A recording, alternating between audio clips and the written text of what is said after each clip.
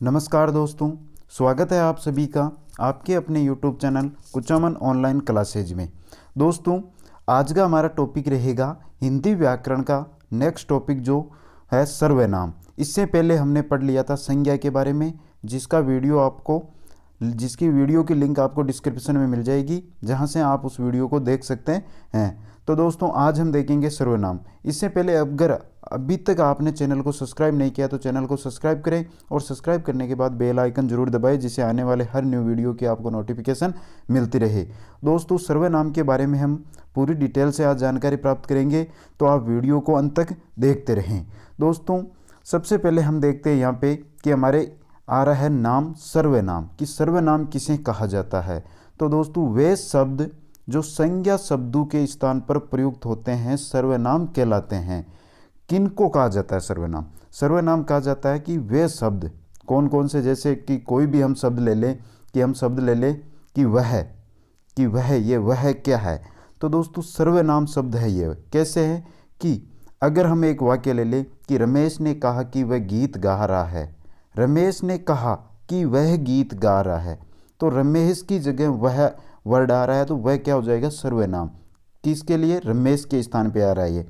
तो वे शब्द जो संज्ञा शब्दों के स्थान पर प्रयुक्त होते हैं। रमेश क्या है यहाँ पे? रमेश हमारे यहाँ पे संज्ञा है और आगे वह गीत गा रहा है। रमेश गीत गा रहा है की जगह वह गीत गा रहा है तो वह क्या हो जाएगा यहाँ पे?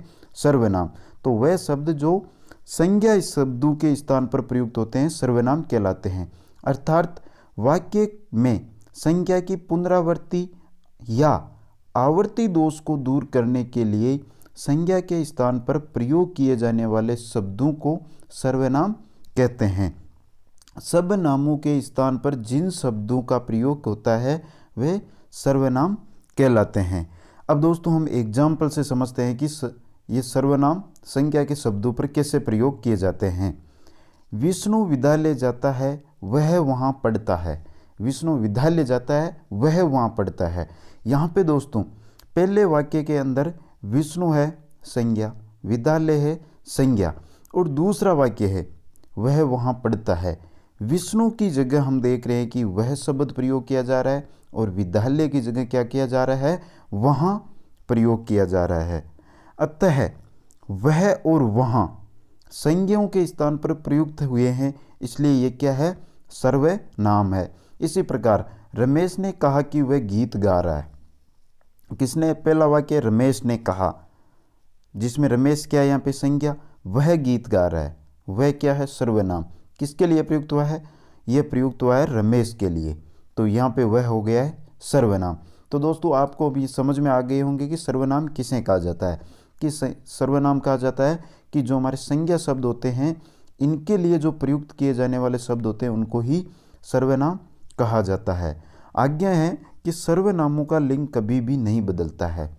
जो सर्वनाम होता है, उनका लिंग कभी नहीं बदलता है।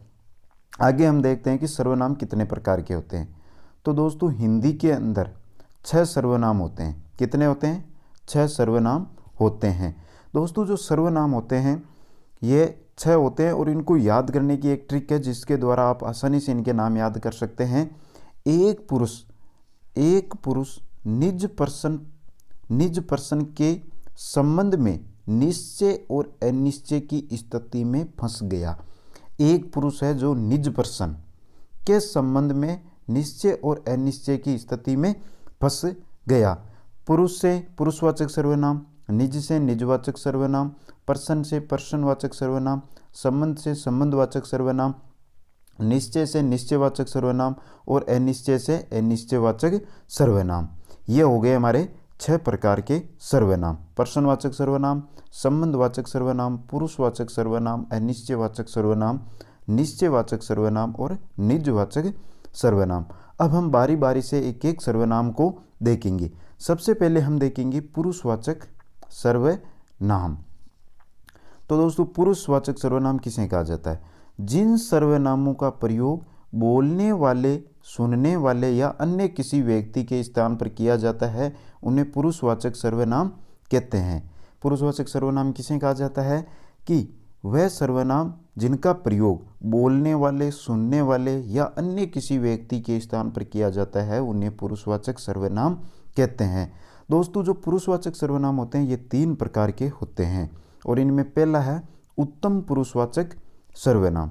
वे सर्वनाम शब्द जिनका प्रयोग बोलने वाले, बोलने वाला व्यक्ति स्वयं अपने लिए करता है।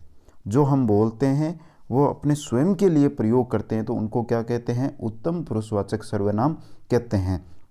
जैसे हम देख सकते हैं, मैं, हम, मुझे, मेरा, हमारा, हमें, हमको आदि। ये क्या है? उत्तम पुरुषवाचक सर्वनाम है। उदाहरण के लिए हम देख सकते हैं, मैं अपने गाँव गया। क्या? मैं अपने गाँव गया। तो दोस्तों, इसके अंदर मैं आ रहा है। मैं क्या है यहाँ पे? मैं है एक सर्वनाम। और कौन सा है? उत्तम पुरुषवाचक सर्वनाम है। मैं का प्रयोग किसके लिए करें? स्वयं के लिए। जो बोल रहा है वो खुद के लिए ही इसका प्रयोग कर रहा है कि मैं अपने गाँव गया। तो ये हो गया हमारा उत्तम पुरुषवाचक सर्वनाम। आगे जो हमारा पुरुषवाचक सर्वनाम है, उसका दूसरा भाग है मध्यम पुरुषवाचक सर्वनाम।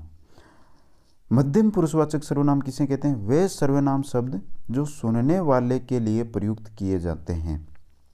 जो सुनने वाले के लिए प्रयुक्त किए जाते हैं, उनको कहते हैं, क्या कहते हैं उनको? मध्यम पुरुषवाचक सर्वनाम कहते हैं। जैसे, तू, तुम, तेरा, तुम्हारा, तुझे, तुम्हें, आप, आपका, अपना, आपको, अपने आदि। यह होते हैं हमारे मध्यम पुरुषवाचक सर्वनाम शब्द। उदाहरण के तौर पर हम देख सकते हैं, तुम बहुत अच्छा बजाते हो।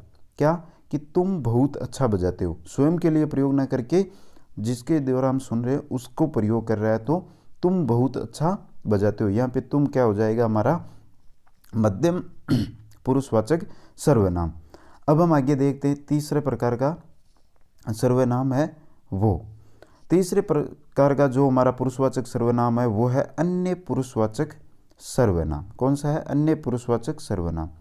वे सर्वनाम शब्द जिनका प्रयोग बोलने तथा सुनने वाले व्यक्ति, किसी अन्य व्यक्ति के लिए प्रयोग करते हैं, उन्हें क्या कहते हैं? अन्य पुरुषवाचक सर्वनाम कहते हैं। जैसे इसके जो शब्द होते हैं, वो ये है, यह है, वह है, ये, वे, इसका, उसका, इसे, उसे इन्हें उन्हें उनका, उनको, उसको आदि। यह है अन्य पुरुषवाचक जो सर्वनाम है, उसके शब्द। एग्ज़ाम्पल से हम देखते हैं इसको। उन्हें अपनी गलती का एहसास है। क्या है?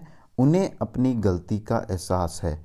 ये किसी अन्य व्यक्ति के लिए प्रयोग कर रहे हैं कि उन्हें अपनी गलती का एहसास है। तो उन्हें क्या हो जाएगा यहाँ पे? अन्य पुरुषवाचक सर्वनाम शब्द हो जाएगा। तो दोस्तों, ये हो गया हमारा पहला जो पुरुष, जो पहला हमारा सर्वनाम है, पुरुषवाचक सर्वनाम, वो अब हम आगे देखते हैं, दूसरे प्रकार का सर्वनाम है वो। दूसरे प्रकार का सर्वनाम है निश्चयवाचक सर्वनाम। किसे कहा जाता है निश्चयवाचक सर्वनाम? वे सर्वनाम जो किसी दूरवर्ती या समीपवर्ती व्यक्ति, प्राणी वस्तुओं का बोध कराते हैं, उन्हें निश्चयवाचक सर्वनाम कहते हैं। जो दूर दूरवर्ती या समीपवर्ती व्यक्ति प्राणी वस्तु का बोध कराते हैं, उन्हें निश्चयवाचक सर्वनाम कहते हैं। कौन कौन से होते हैं? ये वह ये, वे, इस, उस आदि। जैसे एग्ज़ाम्पल की दृष्टि से देखते हैं, ये मेरा घर है वह आपका पुत्र है, वे मेरे पिताजी हैं वह मनीष का घर है। तो यह, यहाँ पे क्या आ रहा है? ये आ रहा है, वह आ रहा है। यहाँ पे आपको समीपवर्ती या दूरवर्ती जो व्यक्ति प्राणी वस्तु उसका बोध हो रहा है। ये मेरा घर है। तो क्या है कि समीपवर्ती बता रहा है? तो यहाँ पे क्या हो जाएगा? ये है जो निश्चयवाचक सर्वनाम शब्द हो जाएगा। क्या हो जाएगा? निश्चयवाचक सर्वनाम शब्द। आगे हम देखते हैं तीसरे प्रकार का सर्वनाम है जो अनिश्चयवाचक सर्वनाम। अनिश्चयवाचक सर्वनाम। किसी अनिश्चय अनिश्चय व्यक्ति वस्तु घटना के लिए आने वाले सर्वनाम शब्द अनिश्चयवाचक सर्वनाम कहलाते हैं। जैसे, कोई गहा रहा है, राम कुछ खा रहा है। तो दोस्तों, यहाँ पे देख रहे हो आप, कोई कुछ। क्या है? यह है अनिश्चयवाचक सर्वनाम। कोई गा रहा है, कोई गा रहा है। अनिश्चय कोई गा रहा है? आपको पता नहीं है कि कौन गा रहा है। कोई गा रहा है तो क्या हो जाएगा? अनिश्चयवाचक सर्वनाम। राम कुछ खा रहा है। क्या खा रहा है आपको कुछ पता नहीं है? कुछ खा रहा है तो कुछ क्या हो जाएगा? अनिश्चयवाचक सर्वनाम। आगे हम देखते हैं चौथे प्रकार का जो हमारा सर्वनाम है वो पर्सनवाचक सर्वनाम। तो दोस्तों पर्सनवाचक सर्वनाम किसे कहा जाता है? वे सर्वनाम जो पर्सन का बोध कराते हैं या वाक्य को पर्सनवाचक बना देते हैं, उन्हें पर्सनवाचक सर्वनाम कहते हैं। जो सर्वनाम शब्द होते हैं, वो हमें किसी पर्सन या पर्सनवाचक वाक्य बना देते हैं, उनको क्या कहते हैं? पर्सनवाचक सर्वनाम कहते हैं। जैसे हम देख सकते हैं, कौन, किसे, किसने, क्या, कब, ये क्या है? प्रश्नवाचक शब्द है। अब हम उदाहरण के लिए देखते हैं। तो दोस्तों, कौन आने वाला है? वह क्या लाया है?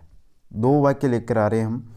कौन आने वाला है? यहाँ पे कौन? ये प्रश्नवाचक शब्द है तो ये क्या हो जाएगा? प्रश्नवाचक सर्वनाम वह क्या लेक वह क्या लाया है? वहाँ पर क्या क्या है? क्या है एक प्रश्नवाचक शब्द? तो प्रश्नवाचक सर्वनाम हो जाएगा। दोस्तों, आप दो वाक्य ले रहे हैं। इनमें आप देखिए कि जो कौन है, ये संजीव के लिए प्रयुक्त हो रहा है और क्या है? क्या क्या लाया है? ये किसके लिए प्रयुक्त हो रहा है? निर्जीव के लिए प्रयुक्त हो रहा है।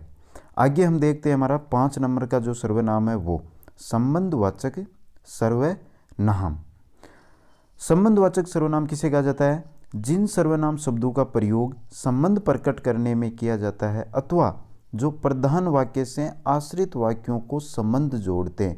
जो हमारा प्रधान वाक्य होता है, उसका आश्रित वाक्य से संबंध जोड़ते हैं, उन्हें संबंधवाचक सर्वनाम कहते हैं। जैसे कि हम देख सकते हैं, जो वह, जो सो, जिसे, जो जैसा जैसा जैसा, जिसको उसको, जिससे उससे जिसकी उसकी जितना उतना। जिसे वही, जिसे उसे तेते जेते, जैसे वैसी जिसने उसने। ये आदि शब्द होते हैं जो क्या होते हैं? संबंधवाचक सर्वनाम के शब्द होते हैं। जैसे हम एग्ज़ाम्पल से देखते हैं, जो करेगा, सो भरेगा। जो करेगा, जो, जैसा, जो करेगा, सो भरेगा। जैसा करोगे, वैसा भरोगे। जितनी लंबी चादर, उतने ही पैर पसारो। तो यहाँ पे दोस्तों आ रहे हैं जितनी, उतने, जो, सो। ये शब्द क्या हो गए हमारे? संबंधवाचक सर्वनाम शब्द हो गए। तो यहाँ पे कौन सा सर्वनाम होगा? संबंधवाचक सर्वनाम होगा। आगे हम देखते हैं निजवाचक सर्वनाम, जो हमारा अंतिम प्रकार है सर्वनाम का, निजवाचक सर्वनाम। वे सर्वनाम जिन्हें कर्ता द्वारा स्वयं अपने लिए प्रयुक्त किया जाता है, निजवाचक सर्वनाम कहलाते हैं। वह सर्वनाम जिन्हें कर्ता द्वारा स्वयं अपने लिए प्रयुक्त किया जाते हैं, निजवाचक सर्वनाम कहलाते हैं। जैसे हम देख सकते हैं, मैं, आप, हम, स्वयं, खुद आदि, ये क्या है? निजवाचक सर्वनाम शब्द हैं। अब हम एग्ज़ाम्पल देखते हैं। मैं अपना काम स्वयं करता हूँ। यहाँ पे कर्ता स्वयं के लिए प्रयुक्त कर रहा है कि मैं अपना काम स्वयं करता हूँ। तो यहाँ पे मैं क्या हो जाएगा? निचवाचक सर्वनाम। हम खुद ही इधर आ गए। हम क्या है? खुद ही इधर आ गए। तो यहाँ पे हम क्या है? निजवाचक सर्वनाम है। इन दोनों वाक्यों में स्वयं खुद निजवाचक सर्वनाम शब्दों का प्रयोग हुआ है। इसका प्रयोग तीन पुरुषों में, उत्तम, मध्यम और अन्य में होता है। अतः कई बार निजवाचक जो सर्वनाम है, को पुरुषवाचक सर्वनाम का भी भेद मान लिया जाता है। आप उदाहरण से देखिए कि आप यहाँ बैठिए। आप यहाँ बैठिए। ये क्या है? पुरुषवाचक सर्वनाम है। मैं अपने आप ही कर लूँगा। ये क्या है? निजवाचक सर्वनाम है। निजवाची सर्वनाम आपको प्रयोग, मध्यम पुरुष सर्वनाम तू के लिए प्रयोग किया जाता है। इस अनुचित प्रयोग के कारण आप सर्वनाम में मध्यम पुरुष की भ्रांति होती है। इस भ्रांति के प्रयोग के द्वारा एवं बल विरोध के द्वारा स्पष्ट किया जाता है। नोट, एक बात आपको ध्यान रखनी है। निजवाचक सर्वनाम आप नित्य एक वचन होता है, किंतु सम्मान व्यक्ति, व्यक्त करने के लिए आपको बहुवचन माना जाता है। किसी भी सर्वनाम शब्द के बाद लोग शब्द लगा दिया जाए। कौन सा शब्द? लोग। अगर लोग शब्द लगा दिया जाता है तो वह नित्य बहुवचन हो जाता है। आप लोग। आप एक एक वचन होगा, लेकिन अगर आप आप लोग लगा दोगे तो ये क्या हो जाएगा? बहुवचन हो जाएगा। तो दोस्तों, ये वीडियो आपको कैसा लगा, आप कमेंट करके ज़रूर बताएँ। नेक्स्ट हमारा वीडियो रहेगा विशेषण के बारे में। दोस्तों, वीडियो को लाइक करें, चैनल को सब्सक्राइब करें और अपने दोस्तों के साथ शेयर करें। धन्यवाद।